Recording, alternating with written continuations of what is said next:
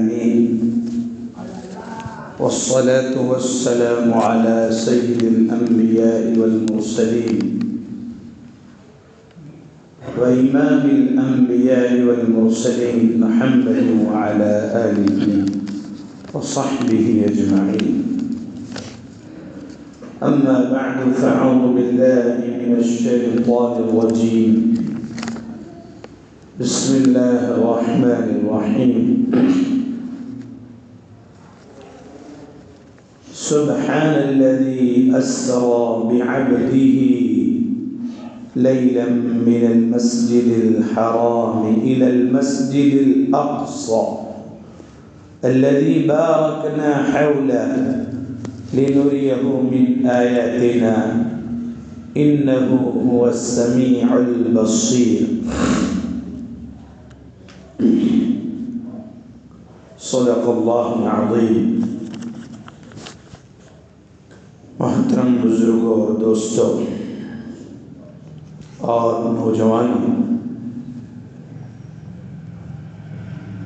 अकायद में सबसे पहली बात यह होती है कि ईमान में एक बात ये यह होती है जो भी कुछ होता है वो अल्लाह की तरफ़ से होता है ये हमारा पैदा है कि नहीं भाई। करने धरने वाली ज़ात किसकी है? अल्लाह की। वल कदरी खैरी है। अच्छी और बुरी तकदीर उसी की तरफ़ से है। आज से पंद्रह दिन पहले आना तय था अपने एतबार से। हम, हमारे निज़ाम के एतबार से। लेकिन रब कायनात के निज़ाम में नहीं लिखा हुआ था। तो इस पर भी हमने वही पढ़ा, वल कदरी खैरी ही व शर्र ही मिन अल्लाह न आने में क्या क्या हमतें हैं वो अल्लाह ही जानता। और आज आने में क्या हमत है, वो भी अल्लाह ही जानता है। इसलिए ये एक इश्काल था भाई, पिछले पंद्रह दिन पहले आप क्यों नहीं आए, ये उसका जवाब था फल कदरी खैर ही व शर्र ही मिन ताला। अच्छी और बुरी तकदीर किसकी तरफ़ से होती है? अल्लाह शेख इस्लाम जामनकूल वलमाकूल हज़रत मौलाना रिजवानुद्दीन साहब मारूफ़ी हमारे शेख फरमाते हैं।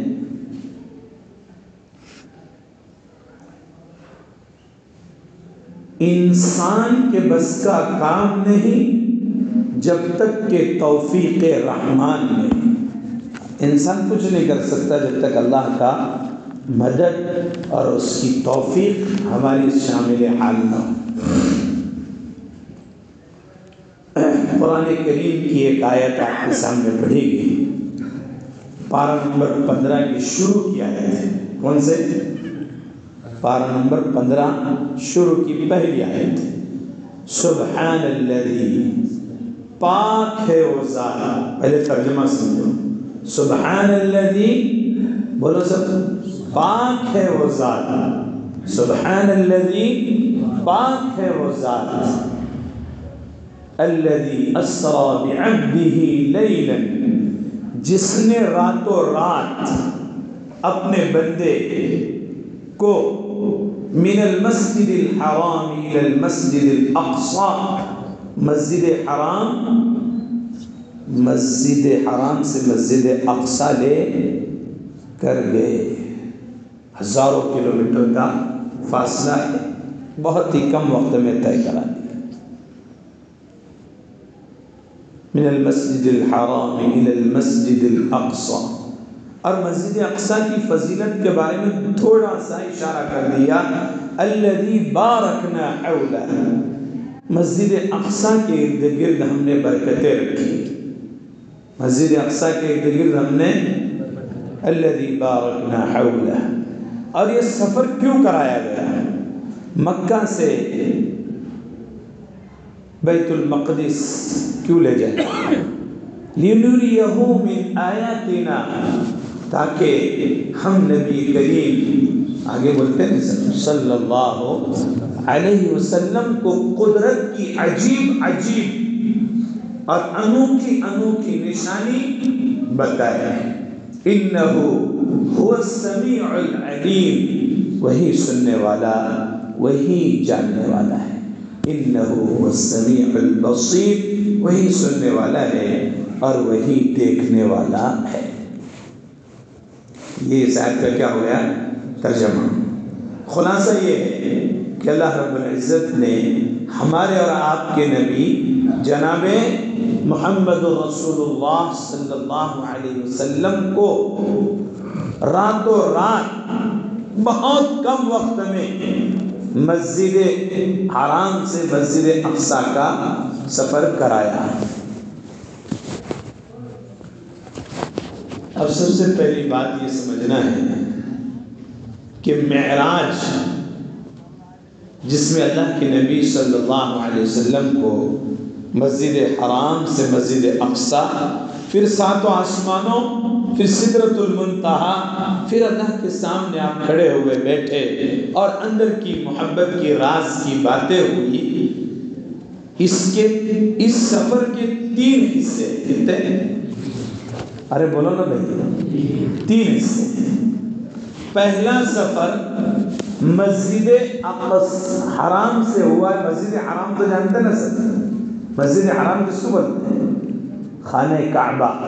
किसको बोलते हैं? खान काबा का नाम है मस्जिद हराम। जहाँ लोग उम्र के लिए जाते हैं, हज के लिए जाते हैं, तवाफ करते हैं, वहाँ से आपको मस्जिद अक्सा मस्जिद अक्सा तो सभी जानते हैं अभी।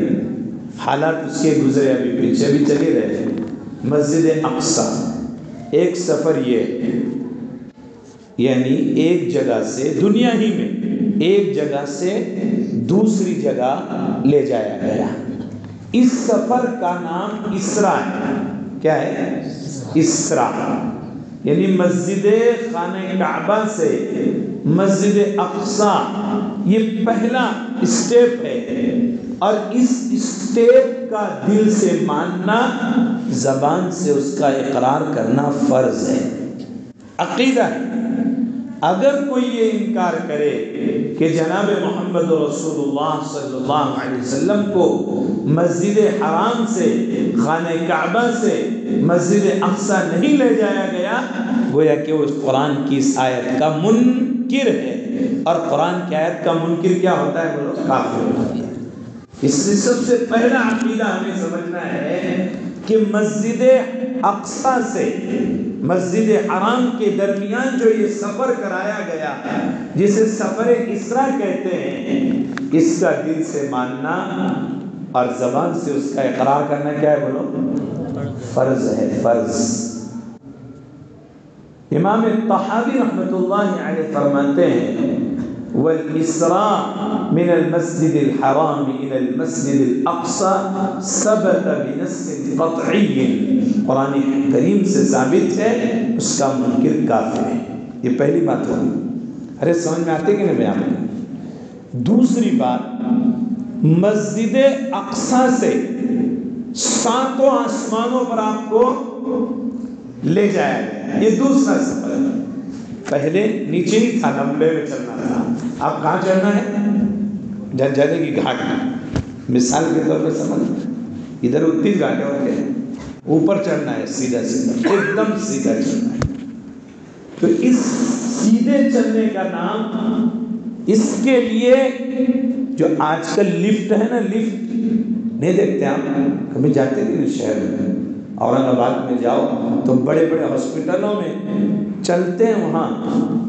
तो वो गुदगुदी लगती पैर में। और जो नए हैं तो वो बजाय खड़े होने के चलते और लुढ़क जाते हैं। वो सोचते ही, चलने की हालाँकि वहाँ सीधा खड़े ना पड़ता खुद ही चलती है। इसको महराज बोलते हैं, सीढ़ी। और उसी का नाम बदल गया लिफ्ट। महराज कहरबाई जो है तो लेटेस्ट की सीढ़ी है वो, सीढ़ी। तो दूसरा सफ़र आपके लिए लिफ्ट के ज़रिए कराया गया, सीढ़ियों के ज़रिए कराया गया। ये सफ़र मस्जिद अक्सा से सीढ़ी लगाई गई और सातों आसमानों पर आपको ले जाया गया। ये लिफ्ट तो बनाए इन्होंने आज, लेकिन 1400 साल पहले जनाब मोहम्मद रसूलुल्लाह सल्लल्लाहु वसल्लम को उस लिफ्ट का नमूना बता दिया गया था। और साइंसदान जितने भी है, वो सब कुरान हदीस में ही गौर करते हैं। ये दो दो काम हो गए। अब तीसरा काम हुआ, सातों आसमान से, सातों आसमान से सिदरतुल मुंतहा। सिदरा के मतलब बेरी। बेर के झाड़ जानते नहीं? खट्टे बेर, मीठे बेर नहीं रहते। बागी बेर। एक नया बेर आ गया एक फल बेर एक ही, एक खाओ और पेटी भर जाओ तुम्हारा जाओ। तो ये वहाँ बेरी का झाड़ था। अब वो बात अलग है कि बेरी का झाड़ वहाँ क्यों उगाया गया है? वो अभी आएगा आगे। हम कितना टाइम करेंगे इसके देखा तो आप सातों आसमान से मेराज सीढ़ी तक वहाँ पहुँचे सिदरतुल मुंतहा तक उसके लिए आपको हज़रत जिब्रील के पर की सवारी दी किसकी? हज़रत जिब्रील के परों की सवारी दी उन्हें क्या? बड़ा आदमी आता है तो पहले प्लेन से पहुँचता है। फिर अगर गाँव करीब है तो उसके लिए बड़ी बड़ी फाइव स्टार गाड़ियाँ आती है। ये सारे निज़ाम कुरान में पहले हदीस में बता दिए है। तीसरी जो हुजूर की सवारी थी, वो जिब्रील के पर थे। सात आसमान से सिदरतुल मुंतहा तक। सिदरतुल मुंतहा के बाद हज़रत जिब्रील ने कह दिया, गर यक्सर मुए बर पर तरन अगर एक कदम भी हम यहाँ से बढ़े, फरोग तजल्ली बसोजत परम तो मेरे सारे पर जल जाएँगे। इसके आगे मुझे भी इजाज़त, जाने की नहीं है। उसके आगे जनाब मोहम्मद सल्लल्लाहु अलैहि वसल्लम के अल्लाह ताला ने एक सवारी का इंतज़ाम किया, जिसका नाम है रफ रफ। क्या? वो बगैर ड्राइवर की चलती हूँ। उसका कंट्रोल अल्लाह के पास है। बहुत से रॉकेट छोड़े जाते हैं, उनका पूरा कंट्रोल नीचे रहता है। तो वो रॉक वो कंट्रोल अल्लाह के पास था और रफ रफ। तो चार, एक सफ़र था, सवारियाँ कितनी थी? चार। पहले बुराक था, बुलेट ट्रेन उसका नमूना लोगों ने निकालने की कोशिश किया, साइंसदान। ने लेकिन वो उसकी, उसको नहीं पहुँची। और दूसरा महराज सीढ़ी लिफ्ट आजकल के ज़माने में और तीसरा जिब्रील के पर। और चौथा, रफ रफ। ये इस पूरे सफ़र में कितनी सवारियाँ हुई? चार सवारी तो मस्जिद हराम से मस्जिद अक्सा तक का सफ़र को मानना वाजिब और फ़र्ज़ है। जो ना माने वो काफिर हो जाएगा। और मस्जिद अक्सा से सातों आसमान के सफ़र को मानना वाजिब और ज़रूरी है। उसका मुनकर फासिक और फाजिर है, काफिर नहीं। वो दलील जन्नी से साबित है। नई बातें ओलामा समझते डॉक्टर बोलता है कि भाई, तुमको बच्चे क्यों नहीं हो रहे? क्या क्या बोलता हूँ, किसके समझ में आने वाली बात है? दवा खाते रहो तुम समझो मैं तो ये तो हो गया आप को कितनी सवारियों पर सवार कराया गया अब दूसरा पॉइंट है कि ये सफ़र हुआ कब? किस सन में हुआ? कौन से साल में हुआ? हुजूर सल्लल्लाहु अलैहि वसल्लम के ज़माने में बाकायदा तारीख ऐसे कैलेंडर कल, नहीं थी। जो कैलेंडर है अभी कोई मीज़ान आता है, कोई क्या आता है, मोबाइल में भी कैलेंडर आता है। उस ज़माने में तारीख को याद वाक़े से रखा जाता था। किससे?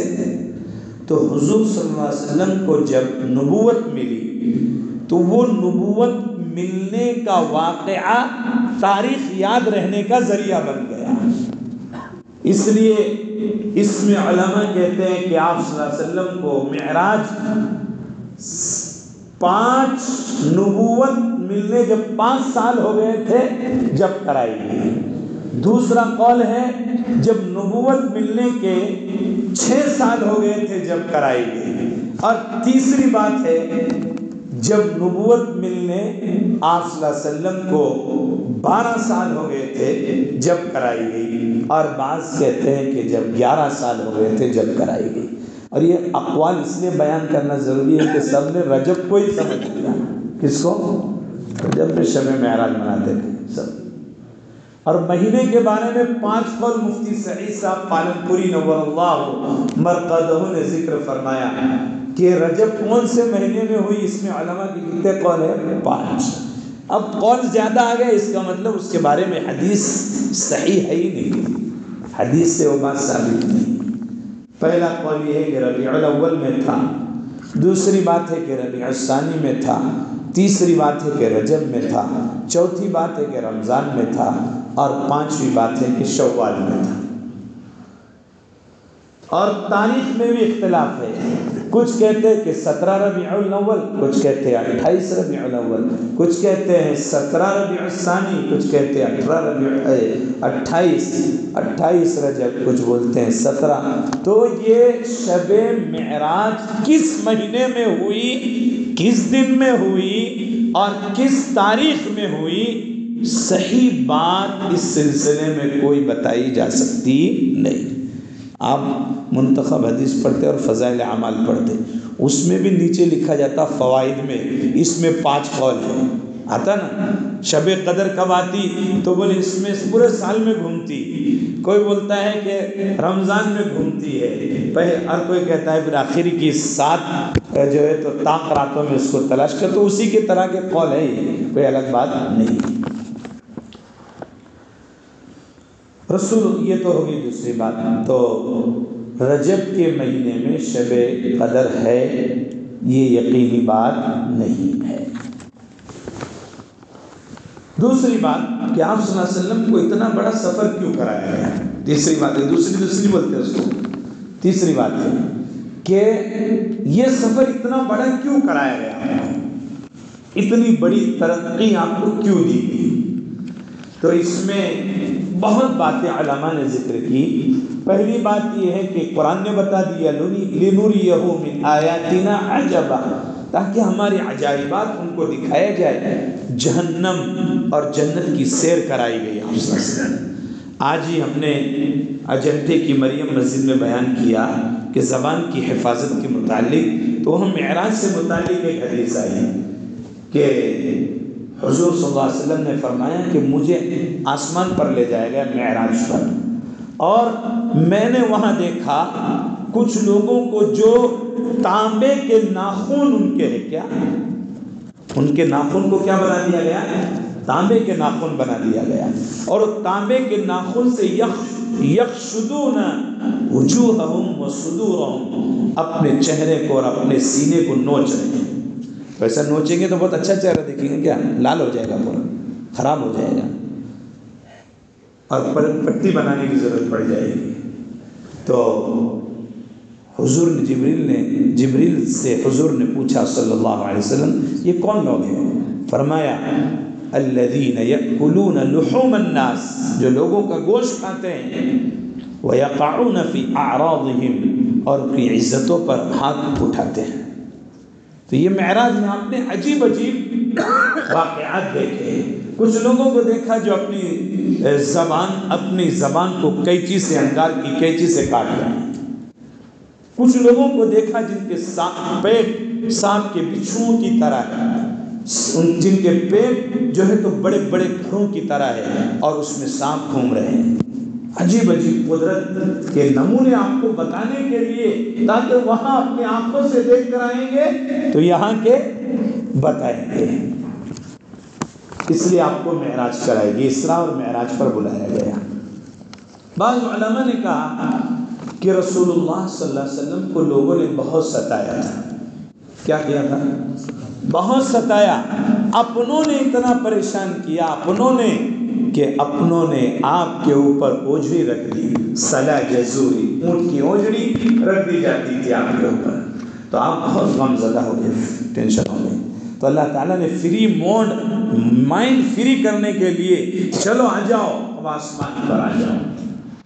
तो इससे मालूम चला कि शरीयत के दायरे में घूमना भी जायज़ है, नौजवानों। क्या जुमला बोल रहा हूँ मैं? वो तुम दायरा हटा देंगे और चालू कर देंगे। शरीयत के दायरे में घूमना भी जायज़ है। जैसे हुजूर को आसमानों पर बुलाया गया, और कुरान में भी बहुत सी जगह है।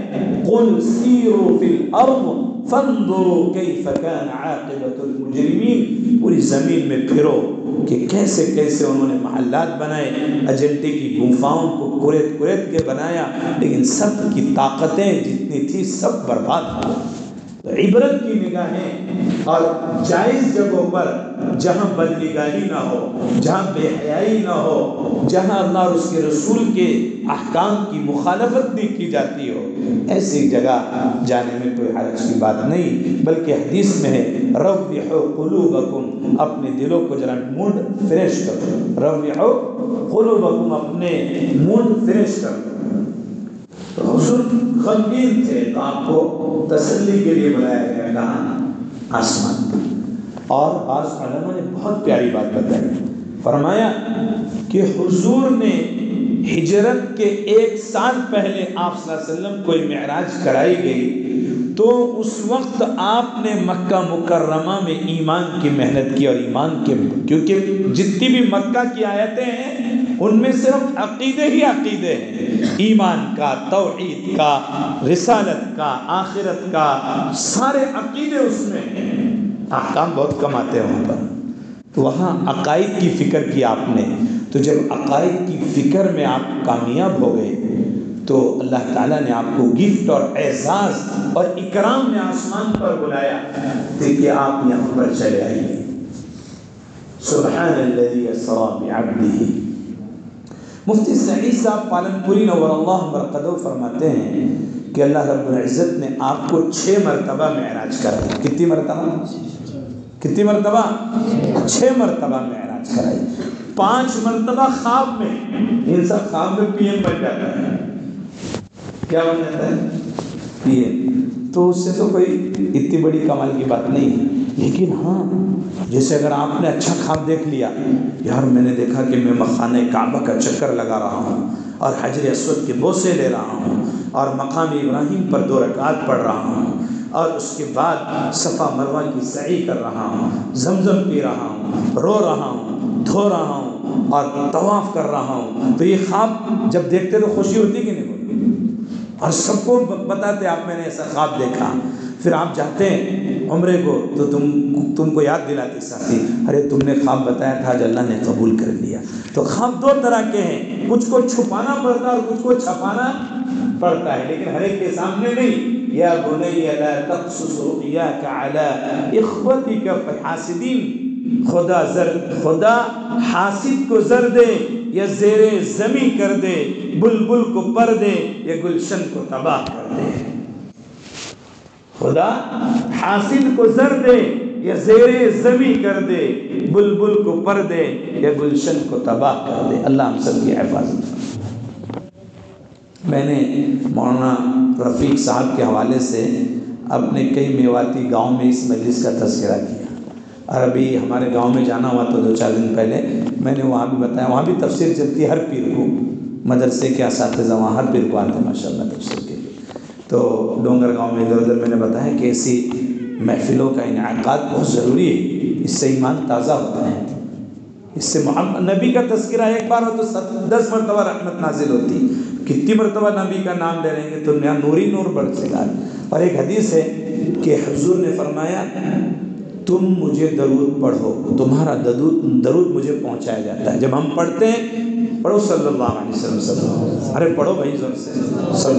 अब जितने भी बैठे हैं सबका नाम लेके नबी के रोज़े में बताया गया कि मौलाना रफ़ीक साहब, इन्होंने इन्होंने सबने आपका नाम लिया। तो हम जितना दरूद पढ़ेंगे तो बार बार हमारी हाजिरी होगी कि नहीं? कहा? रसोल्लाह की तरफ़। फिर अल्लाह ताला तो बुलाएँगे वहाँ। वहाँ देर है, अंधेर? नहीं, वो पैसों का मोहताज नहीं। लाखों पति पड़े हुए पर उनके नंबर नहीं लग रहे। उनके नंबर सिर्फ़ दवाखानों में लगते हैं, कहीं रोड पे लगते हैं, कहीं कहाँ लगते हैं। अल्लाह सब की हिफाजत तो बात चल रही कि मुफ्ती सईद साहब ने फरमाया कि आपको कितनी मरतबा महराज कराइए तो छः पाँच में क्या हुआ? खाम तो खाम पे से बात चली। तो ये मेराज का वाकया एक उनवान नहीं, ये हज़ारों उनवान लिए हुए हैं। अब खाब पर बोलेंगे तो बुखारी की पच्चीस हदी से झगड़ेंगे आखिर और वो सुनाना पड़ेगा टाइम चले जाए। पूरी रात हो जाएगी, हत्ता तल फजर। तो हजूर सल्लल्लाहु अलैहि को छः मरतबा महराज करेगी। पाँच मरतबा किसमें? ख्वाब में कराई और एक मरतबा आपको बेदारी में कराई गई। सचमुच अपने ज़माने में बोलते क्या बोलते हैं? सचमुच बोल रहा भला मैं पैसे आगे बोले सबके सच मुच तो पहले ख्वाब में बताया जाता है और दिमाग को बनाया जाता है कि आपको कहीं जाना है और एक ख्वाब फिर प्लान बनाता है। आपको कहीं जाना है, कहीं जाना है। फिर छठी मरतबा कुरान ने कहा, लकद सदक़ल्लाहुर्रसूलुर्रुया बिलहक आपका ख्वाब बिल्कुल सच हो गया। फतेह मक्का से पहले भी आप ख्वाब देखते थे कि फतेह मक्का में आप लौटेंगे। ये ख्वाब दिखाए गए, फिर सचमुच आपको फतेह मक्का ही कराएँगे। मक्का में आपको बुलाया गया दोबारा। ऐसे पाँच मरतबा ख्वाब बताए गए और छठी मरतबा आपको आसमानों पर बेदारी में ले जाया गया। तो ये अकीदा समझना ज़रूरी है कि एक मरतबा मेरे और आपके आका जनाब मोहम्मद वसल्लम को बेदारी में अल्लाह ताला ने कहा ले गए, मस्जिद अक्सा और मस्जिद अक्सा से सातवां आसमान, फिर वहाँ सारी चीज़ों की सैर कराई गई, जिसको कुल मिला के महराज बोलते क्या बोलते हैं? महराज अब तुम नौजवान हैं तो सब अपना अपना ख्वाब, अपने अपने एतबार से जान लो कि तुम क्या ख्वाब देख रहे हैं, वही तुम्हारा होने वाला है। अगर तुम अपनी ज़िंदगी में तब्दीली का ख्वाब देख रहे हैं तो सचमुच अल्लाह तब्दीली करा देंगे। और अगर तुम बेखाबी की ज़िंदगी गफलत में गुजार रहे हैं तो फिर कुछ नहीं कहेंगे। कहाँ गए थे? कहीं भी। क्या लाए? कुछ नहीं। वही कुत्ते की द्यूं टेढ़ी के टेढ़ी वही चाल बेडंगी जो पहले थी, वो अब भी है। हुजूर की मजलिस में और हुजूर के ज़माने में जिसके दिल में तड़प नहीं थी, जिसके ख्वाबों में उमंगी नहीं थी, वैसे के वैसे काफिर बनकर मर गए हैं। बल्कि हुजूर की परवरिश करना मामूली काम है। अबू तालिब ने परवरिश की हुजूर की, लेकिन तब भी आपको ईमान नहीं मिला। क्यों? अंदर ख्वाब लगता है। अंदर की माया और कल्ब जागना पड़ता है, तब जाके इंसान को तो उसकी तब्दीली के हौसले बढ़ते हैं। तो ये दूसरी बात हो गई है कि आप वसल्लम को महराज कराइए अब बात चल रही है कि आपको सचमुच, यानी रूह के और जिस्म के साथ, ये पूरे धड़ के साथ आपको आसमानों पर ले जाया जाए। ख्वाब में सिर्फ़ क्या जाती? रूह जाती। क्या जाती?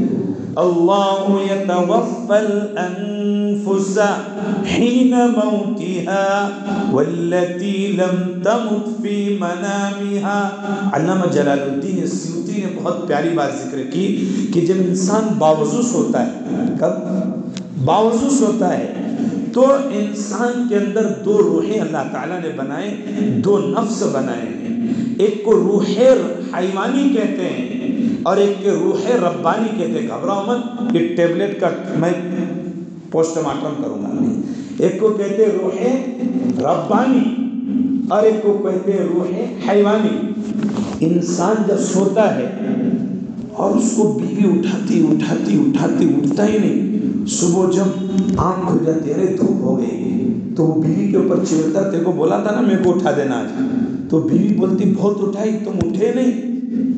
अरे हला रही फिर भी इसको पता नहीं चल रहा और मच्छर काट रहे तो फ़ौरन ऐसे करता है। ठंडी बजती तो फ़ौरन वो शान ले लेता तो ये ठंडी बज रही है, तकलीफ़ हो रही उधर उधर कुलाट मार रहा है और नफक हदीस में घुराटे ले रहा है। ये कमाल है रूह हैवानी का, जिसके मौजूद होने से जिस्म का ज़िंदा होना पता चलता है। ये जा रहे ख्वाब में भी चल के आ गए और एक है रूह रब्बानी। आजान भी आपको मालूम नहीं चला नहीं। तो इंसान को मालूम नहीं चलता नींद की हालत में क्यों? इसलिए कि रूह हसास और रब्बानी, जिस रूह के ज़रिए इंसान को चीज़ों का एहसास होता है, वो रूह उसके पास से निकल जाती है। तो अल्लामा जलालुद्दीन ने ज़िक्र किया कि इंसान जब सोता है तो जो रूह जिसकी वजह से इधर उधर हरकत करता है, वो रहती है।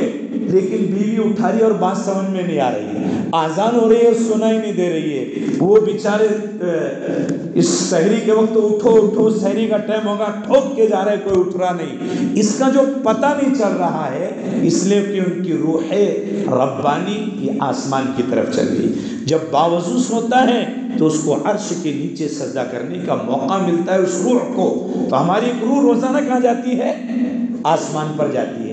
अगर उसके पास उजू का कार्ड है, उजू का उसके पास निशान है तो उसको सज्जे का परमिशन मिल जाता है, वरना फिर उसको सज्जे का परमिशन नहीं मिलता। और जब सज्जे का परमिशन मिल जाता है तो रसू सज्जा करती है, और रब कायनात ने जहाँ तमाम इंसानों की तकदीर लिखी है, वो रूहें उन तकदीरों का एहसास करके ख्वाब में रिप्ले करती है। ख्वाब इंसान को बताती है। नबी पाक वसल्लम को छः महीने इसलिए तो ख्वाब बताए गए तो ये कहीं और चल जाना लेकिन वो महराज में महराज में है वो बहुत, उसमें बहुत अरमान है। अब जो हो जाए महराज ही में। तो पाँच खाब कैसे बताए गए? खाब बताए गए और छठी बार आपको आसमान पर ले जाया गया। तो इंसान दुआ पढ़ के सोता है तो उसको अच्छे अच्छे ख्वाब मिलते हैं। और दुआ नहीं पड़ता। सोते सोते सोया कि अब मक्का के क्या भाव निकलेगा? कपास का जब दस हज़ार भाव था तो ये उम्मीद में रख दिया कि भाव बढ़ जाएगा। छः हज़ार चार सौ बीस पर आकर हो गई। सर फोड़ रहा है। अल्लाह जिस वक्त था, उस वक्त दे देता तो फ़ायदा हो जाता। लेकिन उसकी वजह यह है कि एक तो अपने बड़ों से रबता नहीं रखता, हर चीज़ में रबता रखना चाहिए, कारोबार में, ऑफ़िस में भी। क्योंकि अल्लाह को आगे की चीज़ें, कश्फ व करामत के ज़रिए मालूम चलती है। इसके क्योंकि उनकी रूह आसमान पे जाती है तो उनको मालूम चलते रहते हैं। और हमारे जैसे गुनहगारों की रूह इधर ही फिरती है। अल्लाह हमको नेक बना दे तो छठी मरतबा आप जा रहे हैं जिस्म के साथ और रूह के साथ। उसको कुरान ने यहाँ ज़िक्र किया सुबहान अल्लदी सुबहान कहते हैं, किसी अजीब और कमाल की चीज़ के लिए लफ्ज आता है सुबहान अल्लदी सुबहान तो लफ्ज सुबहान से मालूम चला कि आपको रूह और जिस्म के साथ आसमान पर बुलाया गया। सुबहान ख्वाब में तो हर कोई जाता है, उसमें इतना कमाल नहीं है। और अल्लाह का कमाल जिस्म और रूह के साथ ले जाने में जितना है, सिर्फ़ रूह के साथ ले जाने में उतना नहीं है। सुबहान अब्दी। और मुफसरीन कहते हैं, अरबी ज़बान में अब्द का लफ्ज़ आता है, बंदे को बोलते हैं, इंसान को। तो अब्दुल कहते हैं रूह रूह रूह माल जसद। जिस्म और ढांचा, रूह दोनों का नाम अब्द है। अल्लाह ने उसी के साथ आपको आसमानों पर लेकर गए और लैलन की भी कैद बता रही है कि खाब तो दिन में भी आता और रात में भी आता। अरे भाई, दिन में मस्जिद में सोते तब भी खाब आता कि नहीं? दोपहर के बाद और रमज़ान में तो भरी रहती मस्जिद। इस मौके पर याद आ गया, मस्जिद में सोना जायज़ करने के लिए ये करो कि जैसे मस्जिद में आ जाओ तो एतकाफ़ की, ऐसे मस्जिद में बस्ती वालों के लिए सोना मकरू है। सिर्फ़ जमात वाले हम हम जैसे मुसाफिर सो सकते हैं। मस्जिद में आम लोगों के लिए सोना क्या है? मकरू है। अगर आपको सोना है तो क्या नियत कर लो? बिस्मिल्लाह दखल तो वाले ही तवक्कल तो व नवई तो सुन्नतल। एहतिकाफ ख्याल करेंगे सब लोग इसका? तो हज़रत आपको लैलन रात में ले जाया जा रहा है। और ख्वाब तो दिन में भी आते हैं रात में भी आते हैं। लैलन का मालूम मतलब चला कि आप वसल्लम को जो है तो रूह के साथ, जिस्म के साथ ले जाया गया। मिनल मस्जिद मस्जिद अक्सा। और काफिरों के सामने जब आपने बात रखी तो काफिरों ने उसका इनकार किया। इनकार करना इस बात की अलामत है कि आपको रूह के साथ और जिस्म के साथ बुलाया गया है। हज़रत हानी ने भी कहा कि आप ये ख्वाब अपने दोस्तों में मत बयान करो, ये मुशरकिन के सामने आपको झुटलाएँगे। ख्वाब को कोई नहीं झुटलाता। हकीकत को लोग क्या करते हैं? झुटलाते हैं। बहरहाल, छठी मरतबा वसल्लम को रूह के साथ और जिस्म के साथ आसमानों पर ले जाया गया। सुबहान असरा बिअब्दिही लैलन मिनल मस्जिदिल हराम इलल मस्जिदिल अक्सा। सवाल ये है कि सफ़र को कितना टाइम लगा? यहाँ से औरंगाबाद कितने घंटे लगते? तीन। और मुंबई जाने आठ, दस लगते होंगे।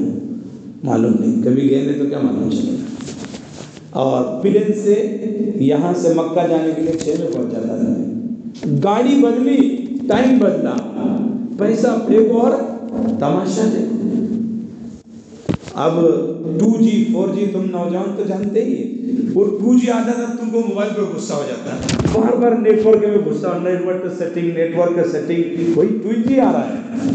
और फाइव आ गया तो तुम बोलते एम बी भी नहीं कट रही, अब तो शुक्र हो गया। तो साइकोलॉजी है ये भी। इंसानी दिमाग को कंट्रोल करने का तरीका है। फुकट में कुछ नहीं चलता हो। रिचार्ज मत मारो तो चलता क्या? मोबाइल ही बंद हो जाता है दस दिन के बाद।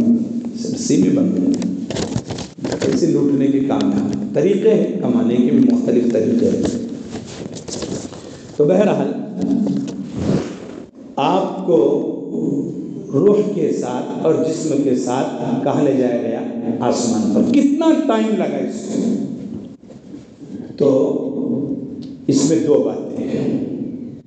एक बात तो यह है कि आप जब मस्जिद अकसा से निकले हैं तो दरवाज़ा आपने बंद किया।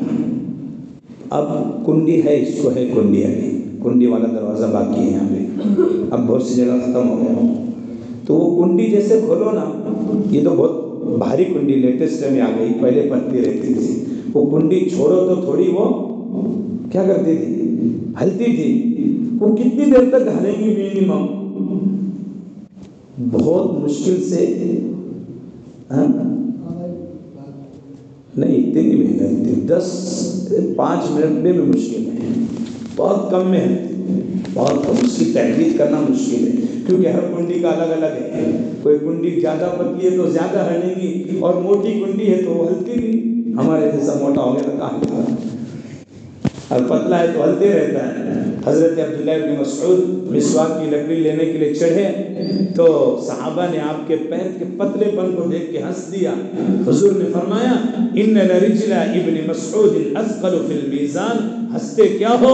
इब्न मसऊद के पैरों का वज़न तुम्हारे अमल से भी ज़्यादा है। नाम है अमल इन रिजला इब्न मसऊद अज़कल फिल मीज़ान। बहुत कम वक्त में आपको सातों आसमान का सैर कराया गया। जब आ रहे थे, उस वक्त किंडी हल ही रही थी। उस वक्त कंडी क्या हो रही थी? हल ही रही थी। और बाज मुफसरीन ने बहुत प्यारी बात कही। अरे, टाइम किस पर होता है? सूरज और चाँद के गुरु और पर पहले घड़ी थोड़ी थी। अब तो सूरज ग्रहण लग जाता तो घड़ी बताती है। पहले घड़ी नहीं थी, पहले टाइमिंग किससे समझ में आता था? सूरज के गुरु पर और तुलो पर। और जब आप को महराज कराई जा रही थी और आसमानों पर बुलाया जा रहा था तो आसमानों पर बुलाते बुलाते कायनात की हर चीज़ को काम करने से रोक दिया गया था। ए सूरज, जहाँ तू है वही रुक जा ए पत्तों, जहाँ तुम है वही रुक जाओ। कायनात का पूरा निज़ाम उतनी देर के लिए रोक दिया गया था। जब उतनी देर के लिए रोक दिया था तो न सूरज हटा, न पत्ते हिले और न वो कुंडी वहाँ से हटी तो उसका टाइमिंग मुकर्र हो ही नहीं सकता। सारी चीज़ महबूब किबरिया की मोहब्बत में रोक दी गई। अरे एंबुलेंस जाती है कुम कुम करके सारी गाड़ियों को सेट कर देती है। और अगर आमदार आ जाए और बहुत ट्रैफ़िक है तो सारी गाड़ियों को रोक दिया जाता है। और पीएम आ जाए तो उसका अलग तमाशा होता है। कुल्लु शहीन तमाशा जुदा जुदा। हर चीज़ के तमाशे क्या है? जुदा जुदा है। तो अल्लाह ने भी अपना कमाल दिखाया, महबूब मेरा है, सदके में तुम उसके बने हो। ए सूरज, ए चाँद, ए कायनात की हर चीज़ अगर नबी ना होते, कायनात का निज़ाम ना बनाया जाता। वो आज जा रहा है तो तुम सारे काम छोड़ो और उसको मिलने आ जाओ। दावत खाने नहीं, एक अलग तमाशा चल पड़ा है उम्र में जाने के लिए, क्योंकि ये भी उम्र से ताल्लुक है, महराज कहाँ से हुई थी? उम्र कहाँ होता खाने काबा में पूरे गाँव को दावत चल रही है। दो महीने पहले बुकिंग हो गई और हज़रत भी खा रहे थे बे दबा दिए खूब और वहाँ जाके बीमार हो। गए दावत कराना किताब सुनने से साबित नहीं बल्कि आज के मौजूदा ज़माने के मुफ्तियान कराम ने फरमाया कि रस्म और बिदात बनती चली जा रही है। इसलिए कटोरे वाला कोई होगा तो माफ़ करो, उनको बाद में गाली दो। पहले अपने आप को कोसोफन कितनी बिदातें कर रहे हैं, लेकिन मालूम नहीं चल रही। सिर्फ़ हुजूर हज़रत अबू बकर, हज़रत उमर इबन ख़त्ताब गए थे, कहा? उम्र के लिए जा रहे थे। तो हुजूर ने एक ही बात कही, हाथ पकड़ा और कहा, ला तंसानी फ़ी दुआई या उखई ए मेरे भाई, एक ही काम कर, मेरे लिए दुआ करना। हुजूर ने किसका हाथ पकड़ा? अरे हुजूर की मोहब्बत में तो क्या कुर्बान नहीं कर देते हो? आयशा कहती है कि यूसुफ को देखने वाली औरतों ने अपने हाथ काट दी। अगर मेरे नबी को देख लेती लकत्तान कुलूबहुन अपने दिलों के टुकड़े कर देती साहब अपने नबी के लिए सब कुछ कुर्बान कर देते। अगर नबी के लिए चाहते तो क्या कुर्बान नहीं करते? लेकिन कभी हुजूर ने चारों उम्र किए कितने? कितने उम्र किए हजूर ने चार उम्र और एक हज किया। लेकिन किसी भी उम्र में पूरे मदीने की दावत है ही नहीं। महल्ले वालों की, रिश्तेदार की किसी नहीं। इसलिए हमने जब अपने वालदेन को भेजा तो ये सारी रस्में ख़त्म कर दी। और रस्मों से बचने के लिए अनवा ही बुला लिया। और सब लोग उधर ट्रेनिंग देते हमने यही अनवा में ट्रेनिंग लिया। तो हमारे को ट्रेनिंग नहीं देते लोग। सीख के जाओ, हर काम सीख के जाओ। मज़ा आ जाएगा। तो हुजूर सल्लल्लाहु अलैहि वसल्लम के लिए महराज में कितना वक्त लगा वो बताया जा सकता नहीं। हुजूर सल्लल्लाहु अलैहि वसल्लम को महराज कराने से पहले आपके दिल को क्या किया गया? बाईपास आज के ज़माने में क्या बोलते हैं इसको हमारे उस्ताद मौलाना फारूक साहब मदनी कहते हैं, ये डॉक्टरों ने ये बुखारी और मुस्लिम से चोरी की है। ये शब्द सदर सीने को फाड़ा और बाईपास कराया। हमारा बाईपास अलग होता और हुजूर का बाईपास अलग काम के लिए हुआ। फ़र्क है दोनों के बाईपास हुजूर सल्लल्लाहु अलैहि वसल्लम का बाईपास और सीना आपका चार मरतबा चाट गया। कितनी मरतबा? अरे बोलो नौजवानों, कितनी मरतबा? पहली मरतबा बचपन में। खेलने के जज्बात को निकालने के लिए। किसके? खेल कूद के जज्बात को निकालने के और दूसरा, दस साल की उम्र में शैतान, अब का शैतान बहुत होशियार है। तीन साल में घुमाने लग जाता हो। छोटी बच्ची, जब से माँ बाप भी टेंशन नहीं ले रहे हालाँकि उनको लेने वाला बच्चा रोया तो ये जिन्ना भाई हम उसको बचपन से किससे दोस्ती हो गई? इससे। माँ की काय को कदर करेगा नहीं करने वाला। पहले जब माँ खेत में काम करती थी, मैंने अपने आँखों से देखा, पीठ के ऊपर वो दुपट्टा बाँध लेती और पीठ के झोली में बच्चा रहता और वो मक्का तोड़ के पीटती नहीं होता था ऐसा? आपने तो पहले देखे। लेकिन अब बच्चे के पास मोबाइल थमाती माने और तू कह ये तेरा बाप, ये तेरी माँ।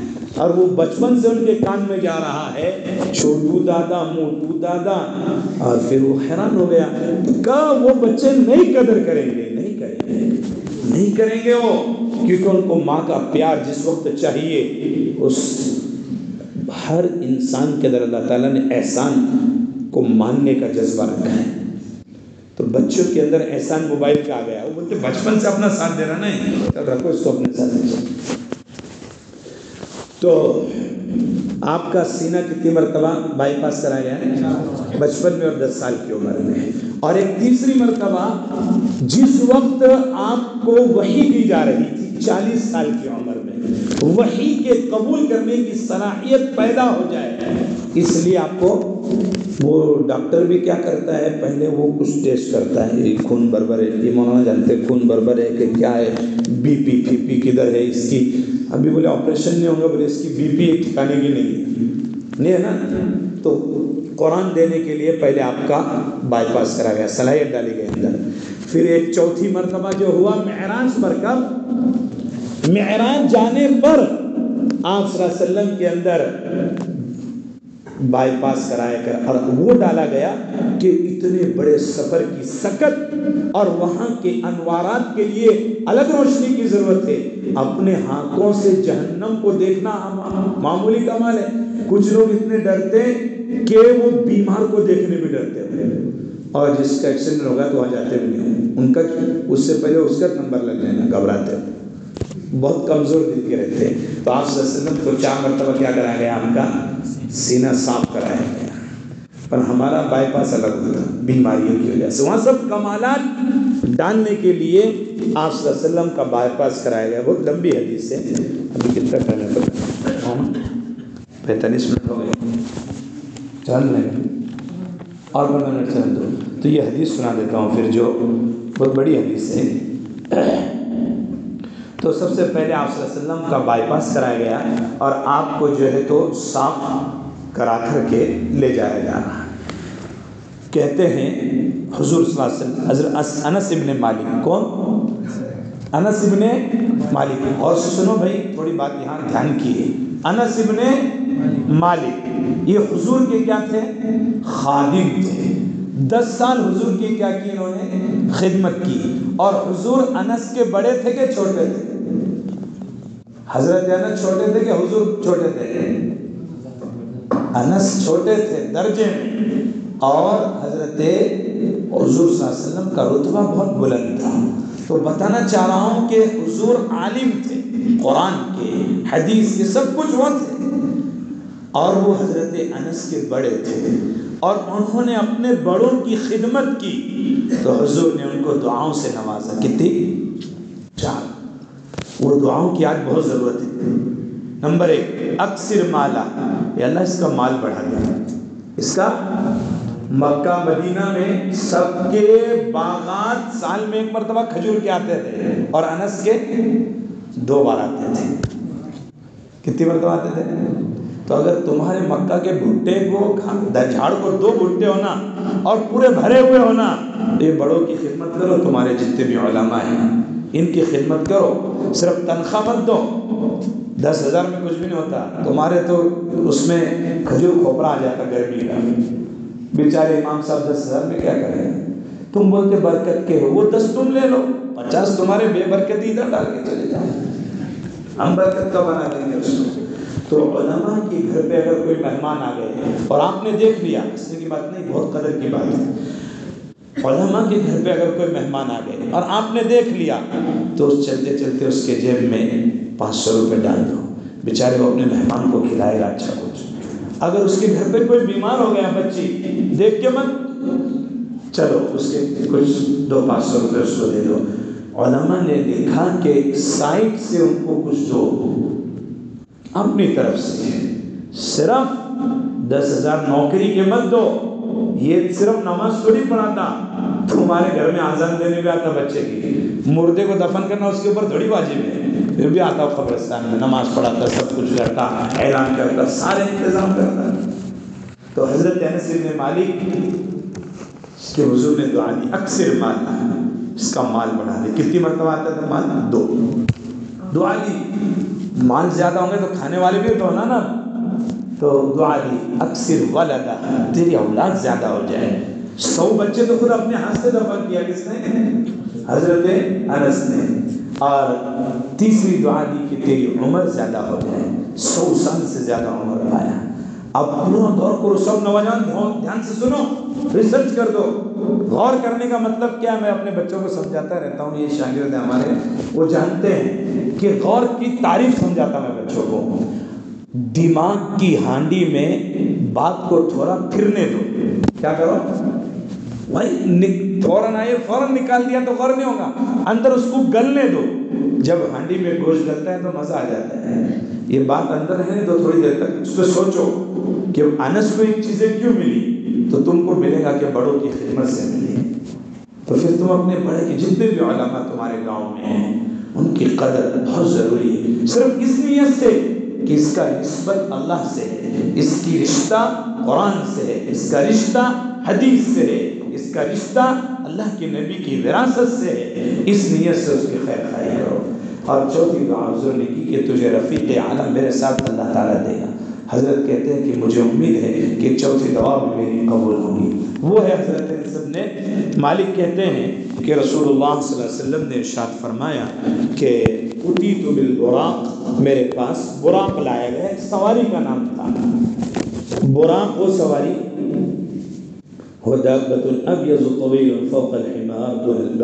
खच्चर से थोड़ा बड़ा और घोड़े से थोड़ा बड़ा, खच्चर से छोटा। था उसकी मिसाल नहीं दे बुरा जन्नत का खाना जन्नत की सवारी यहाँ कहाँ ढूँढने में ढूंढते करेंगे एक मिसाल देने के लिए आपने समझा दिया कि वो गधे से बड़ा था और खच्चर से छोटा था। अब उसके बीच का तस्वुर कर दो। ये बात दिमाग में थोड़ा घुमा दो तो समझ में आ जाएँगे आपको। बुरा ये वो सवारी है जिसके ऊपर हुजूर वसल्लम ने क्या की? बोलो सवारी की। और इसके ऊपर तमाम अंबिया ने भी सवारी की। इस पर तमाम अम्बिया ने भी सवारी की। इमाम नबी रहमतुल्लाह अलैहि लिखते हैं कि तमाम अम्बिया ने भी इस पर सवारी की। बुराक अरबी लफ्ज है। ये बर्फुन बिजली की तरह, बिजली बिजली को भी बर्फ़ कहते हैं। और बिजली बहुत धीरे चलती ना। बहुत तेज बिजली चलती तो ये भी तेज रफ्तार सवारी थी, इसलिए इसको बुराक कहते हैं। और बाज ने कहा कि बुराक को इसलिए कहते कि बहुत खूबसूरत साफ़ सुथरा था। अपनी सवारी, गाड़ी साफ़ सुथरी रखना चाहिए। इससे मसला मालूम चला चले वो इसे ध्यान लेके। बैठ गए नींद में से उठे, ना कपड़ा मारे, न कुछ, वैसे बैठ गए अरे तहारत तो शत्रुल ईमान ईमान का हिस्सा है, पाकि सफ़ाई। गाड़ी साफ़ करो, ये हदीस अपने दिमाग में रखो। अब तहारत तो शत्रुल ईमान। बाकी आधा ईमान जहाँ बैठते हो, उसको साफ़ करो। चला बस जान दो बोले सादगी सादगी में पागलपन है ये पागलपन है गू खड़ी में बैठ गए तो एक सादगी ये तो पागलपन हुआ। गलती अपने जबान की तरफ़ बोल रहा हूँ, तुमको इधर समझा रहा हूँ। बाहर नहीं बोलता। ये सब अपने हिस्से बोलता तो बुराक बहुत साफ़ सफाक सवारी थी इसलिए आपने उस पर सवारी की। और इससे एक मसला ये भी मालूम चला। हजूर ने इतनी आला सवारी, अल्लाह ने इतनी आला सवारी आपके लिए भेजी जो बुलेट ट्रेन से भी ज़्यादा तेज रफ्तार है तो अगर किसी मौलाना के पास इनवा आ जाए, किसी के पास शाहीन आ जाए, किसी के पास बुलेट आ जाए तो आपको तकलीफ़ नहीं होना चाहिए। ये हदीस दिमाग चाहिए अल्लाह का शुक्र अल्लाह ने तुझे दिया मेरे बाप का क्या कमाना अगर तुमको तकलीफ़ हो रही है तो समझाओ कि तुम अल्लाह के फैसले पर उंगली उठा रहे हैं कि ये गवर्नमेंट का फैसला हमें मंजूर नहीं क्यों उनको दिया? फोर व्हीलर क्यों उनको दिया टू व्हीलर शाही? वो फिरते, पैदल चलते। यहाँ से भी मसला मालूम चला। उठी तो बिल्कुल क्योंकि ये किताब तो मैं पढ़ाता ही बहुत तफसील है उसमें। यूट्यूब के ऊपर इसके सारे सबक मौजूद हैं। उठी तो बिल बुराक बुराक लाया गया सवाल ये है कि अल्लाह ताला तो चाहते तो बगैर सवारी के लिए भी बुलाते ना। सवारी क्यों लाई? सवारी की ज़रूरत क्यों पड़ी? अगर बगैर सवारी के भी बुला सकते कदीर, वो हर चीज़ पर कादिर है। मुझे सवारी की क्या ज़रूरत पड़ गई? क्यों उसने सवारी बुलाई? क्यों सवारी का इंतज़ाम किया? और सुनो भाई। बहुत पॉइंट है, खत्म हो रहा आगे सवारी की ज़रूरत क्या पड़ी अल्लाह चाहते तो बगैर सवारी के भी क्या कर लेते बुला लेते जैसे चाँद को तोड़ने के लिए आप अल्लाह के नबी के पास क्या कोई तोड़ा दिया गया था कि तोड़ो इसको? उंगली से इशारा किया, तोड़ गए तो इतना बड़ा काम भी तो बगैर सवारी के हो सकता था। लेकिन गौर से सुनो, बहुत पॉइंट बात है। सवारी के ऊपर अगर मेहमान आपके पास आता है तो उस मेहमान का एहसास समझा जाता है। सवारी के ऊपर अगर मेहमान आपके पास आता है तो उसका एहसास समझा जाता है और लोग उसके इस्तेमाल में रहते हैं। दुनियावी दस्तूर को अल्लाह ने मद्देनजर रखा कि हम खुद आपको लाने के लिए सवारी भेज रहे हैं। इतना कमाल तुम्हारा हमारे हमारे पास है। तुम इतने प्यारे हो कि हम अपनी सवारी एक बार नहीं, तीन बार जाए, एक हज़ार नहीं, लाखों रुपए खर्च हो जाए। लेकिन अपनी गाड़ी तुमको लाने के लिए भेजेंगे। तुम्हारा एहसास उतना हमारे दिमाग में है। तो जिसकी मोहब्बत होती है तो उसके लिए सवारियाँ भेजी जाती है। और जिससे मोहब्बत नहीं होती, उससे सवारी भेजी नहीं जाती।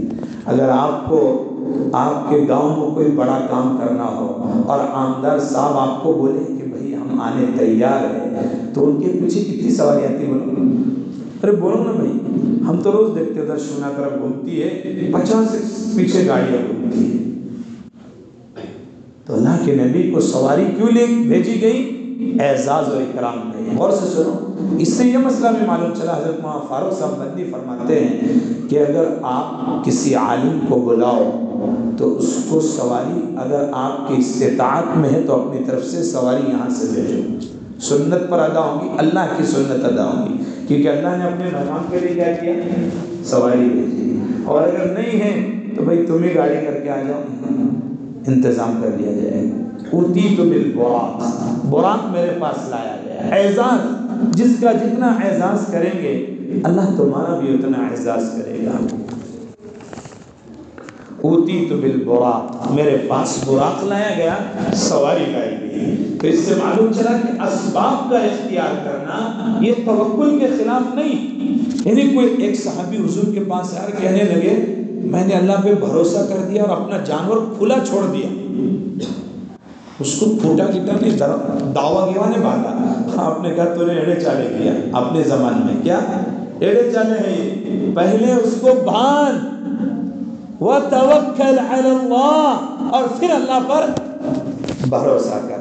और आगे भी आ रहा है इसमें, हुजूर ने भी सवारी बांधी थी। कूटा जो है ना, खूटा इधर बोलते, वो यहाँ बुखारी मुस्लिम में हो मेवाती बच्चे ज़्यादा थे गुजशत साल दौरे में तो उनको मैं उनकी ज़बान में समझाता था, दूसरे बच्चे देखते थे फूटा क्या चीज़ है। तो उनको लकड़ी ला बताना पड़ता था, इसको बोलते फूटा और इसको जो बांधा जाता है उसको बोलते दावा। उसको क्या बोलते दावा। तो आगे हदीस में है जिस खूंटे से अम्बिया अपने सवारी को बांधते थे, उसी खूंटे से मैंने भी अपनी सवारी को बांधा। तो तुम खूंटे लगाते तो ये हदीस दिमाग में रखना कि हुजूर ने भी सवारी खूंटे से बांधी थी, सुन्नत का सवाल मिल जाएगा। और उलमा ने तो बड़ी प्यारी बात बोल दी टाइम खत्म हो रहा है, मौलाना। रुब अमल सगीर युकब्बिरुन्निया बहुत से छोटे अमल ऐसे हैं, अच्छी नीयत से वो मोटे हो जाते हैं। वरुब अमल कबीर और बहुत बड़े बड़े अमल ऐसे हैं, बदनीयती की वजह से वो कचरे के डब्बे में डाल दिए जाते हैं।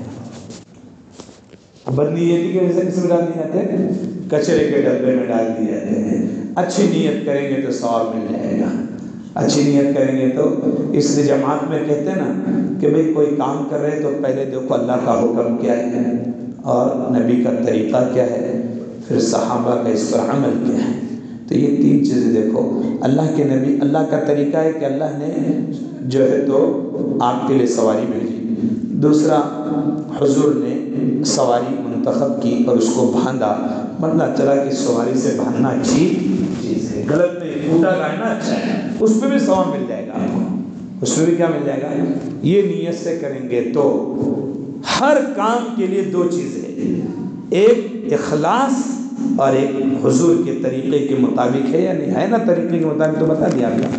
तो इससे यह मसला भी मालूम चला लेटेस्ट के अंदर कि ये तो बैल का खूटा हो गया ना। मोटरसाइकिल का थोड़ी कोई खूटा आता है। उसका लॉक आता हैंडल लॉक फरबत तो बिल हलकतिल्लती यरबितु बिल अंबिया हैंडल लॉक लगा दो। ये सुन्नत है, क्योंकि खूटे का मकसद है, आपकी सवारी भागे नहीं, और हैंडल लॉक रहेगा तो सवारी भागेगी नहीं। तो मैंने अभी बयान के लिए, मैं तो अजंता गया था, और वहाँ पर तीन बयान किया आज। असर में भी एक किया, और जुमा में दो किया। और आते आते बच्चे को बोला, भाई, हमारी गाड़ी तुम लेके चले जाओ, हम दूसरी तरफ़ जा रहे हैं। तो उसको सबसे पहले नसीहत की, भाई फरबत तो बिलअंबिया भले से वहाँ वॉचमैन रहता, लेकिन उसका लॉक कर देना हैंडल हैंडल लॉक कर देना उसका। तो हैंडल लॉक करना भी क्या है? सुन्नत है। हजूर ने बताया, अपने माल की हिफाजत आप करो। अपने माल की हिफाजत खुद ही करो भाई। थोड़ी दूसरा कोई आएगा हिफाजत करने वाला?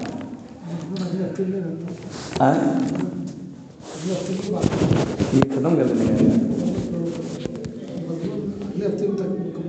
ऐसा मतलब अगला भी हफ़्ता हो गया है। उती तो बिल बोराक पर शायद अमल हो जाएगा। अल्लाह, नहीं, आप तो भाई मैं तो हमारे, आपके लिए तो सभी तैयार है, क्योंकि आप तो हमारे, और हम आपके हैं। हम आपके हैं और आप हमारे दोनों तरफ़ से मोहब्बत रहेंगी तो ठीक होगा। नहीं तो बीवी को सुना रहे कि हुजूर के घर में तीन तीन दिन चूल्हे में जलते थे और रोज़ाना ये जो है तो उसको देखता हूँ, यहाँ से 20 किलो 30 किलोमीटर जाता है, नानी गाँव के बहुत पकड़े जाते हैं वहाँ। और वो नाना की होटल में वहाँ खाना सस्ता मिलता है वहीं खाते हम बीवी को बोलते कि हुजूर के घर में तीन तीन दिन तक चूल्हा नहीं जलता ऐसे कैसे हो गया? इसलिए हजूर ने फरमाया, अगर तुम्हें मजबूरन बाहर खाने की नौबत आ जाए तो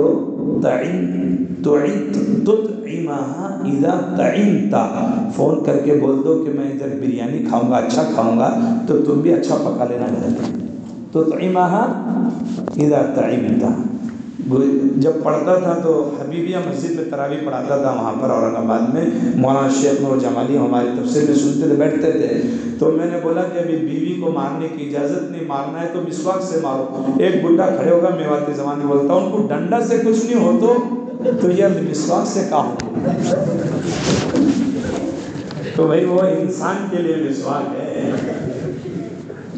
बहरहाल उती तो बिलबराक वबतन अबियज़ तवील फ़ौक़लमार हजूर वसल्लम के पास बुराक लाया गया और वो सफ़ेद था क्या था दाबतुल तो गाड़ी का कलर भी जरा ढंग का होना चाहिए सफ़ेद भले ना हो लेकिन ऐसा होना चाहिए कि औरों को औरों को अच्छा लगे क्या बोले तसुर नाजरी को अच्छा लगे। वो बोलता, मेरी मर्ज़ी, मैं कुछ भी करूँ अरे, तेरी मर्ज़ी, तू प्यार खोल के फिरेगा ऐसे किसी तेरी मर्ज़ी। ऐसा मत करो भाई। अपनी मर्ज़ी मत चलो। मर्ज़ी उनकी, चला जो तेरे बड़े। तो साफ़ सुथरा जना अच्छा कलर लेना। तसुर वो भी यहाँ से मालूम चला। वो बदुल अबियास और कपड़े भी सफ़ेद सुथरे होना चाहिए। सफ़ेद कपड़े के ऊपर, यहाँ भी अब सफ़ेद के ऊपर आ गया था ना तकरीर हो जाएगी। कारी हकीम इस्लाम कारी मोहम्मद तय्यब। मेरा एक बच्चा छोटा, उसका नाम मैंने तय्यब रखा तो जब उसका नाजरा नहीं हुआ था तो बोलता था मेरा नाम तय्यब क्यों है? मैंने बोला, अभी मत पूछो, अभी मत पूछो। जब वो पहुँचा, वहाँ पढ़ता कलिमु तय्यब वो बोलता है, मेरा तो कुरान में नाम आ गया हाँ। वो पंद्रह साल, वो बहुत आठ साल के बाद आया नाम। तो तुम्हारे दिमाग में तो यहाँ पर अब सफ़ेद बात होगी तो कारी हकीम इस्लाम कारी तय्यब साहब। और हुजूर के फ़र्ज़ का भी नाम तय्यब था। और हुजूर ने क्या सोच के रखा हुआ तो मामूली बात नहीं। और हुजूर के तय्यब साहबी है ना? साहबी है वो भी साहबी। ईमान की हालत में देखा, हर नबी के घर में तो ईमान फना हुआ वही तो आया है, वही होगा हो झाड़ तो वहीं लगा। बाकी सारी पार्टियाँ मेवाती जबान में और सारी टहनियाँ महजब जबान में इधर उधर फैल गई है। तो सफ़ेद के ऊपर हज़रत हज़रत हकीम कारी तय्यब साहब ने फरमाया, नौजवानों को जुमा के दिन ख़ास तौर पर सफ़ेद कपड़े का अहतमाम किसका? सफ़ेद कपड़े का अहतमाम करना चाहिए। इंसान जब सफ़ेद कपड़ा पहनता है तो उसकी शादी के दिन तुम सफ़ेद कपड़े क्यों पहनते हो?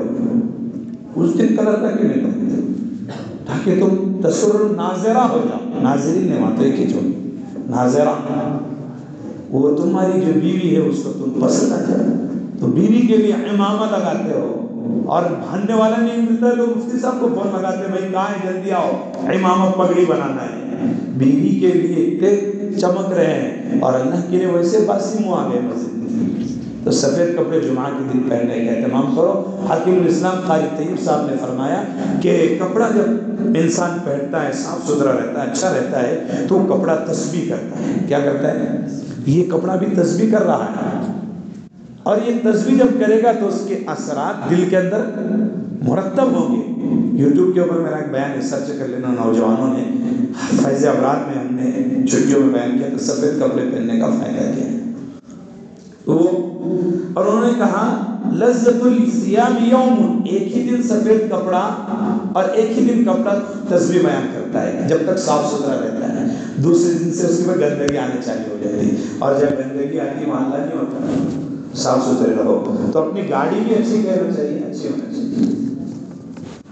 और बुराक लाया गया, अच्छी सवारी होनी चाहिए। और उस पर अच्छी गाड़ी, उसका कलर अच्छा लेकिन दिल में नीयत लोगों को हकीर समझने की ना हो।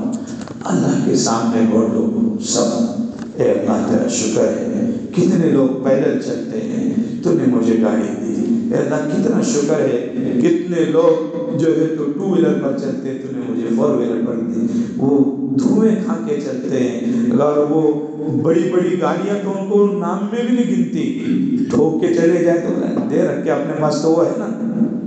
इंशु इंशु इसको इंश्योर कर दे, इंश्योरेंस है अपने पास में। और पास भी है तो उसको वैल्यू नहीं रहती है। इसलिए अब टू व्हीलर के ऊपर चलने में जरा डर सा महसूस हो गया, एहतियात। और एहतियात करना चाहिए खुद से जाके कोई बोलेगा मैं मस्जिद के ऊपर जाके नीचे गोली मार देता हूँ अल्लाह के ऊपर है बचेंगे तो बचेंगे नहीं तो नहीं बचेंगे अरे पागल ऐसे काम मत करो खुदकुशी हो जाए दाबतुल अबयज तवील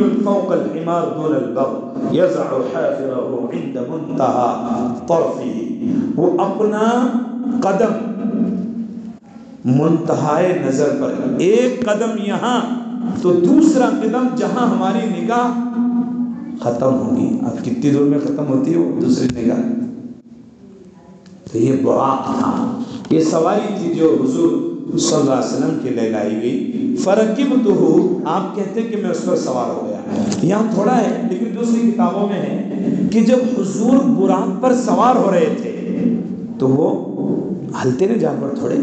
अरे जिन जानवरों को हम पाल लेते हैं, हो गया पानी दो मिनट बस, दो मिनट हो गए, इतनी बात छिड़ गई तो उसको ख़त्म कर देते हैं। जब हम जानवर पालते ना तो मालक जब गाँव से आता है या एक और सा गाँव है अम्बई जम्बई से आता है और उसके ऊपर हाथ फिरता है तो वो थोड़ी, वो खुशी मनाता है कि थोड़ा हलता जुम्बिश करता और वो पाव लामा देता और दुम हिला देता, ताकि वो थोड़ा खुश हो जाता।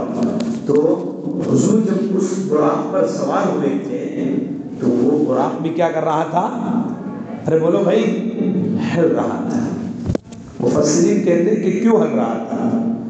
दो वजह एक तो हुजूर का बोझ बर्दाश्त नहीं कर पा रहा क्योंकि हुजूर का बोझ वही के साथ था।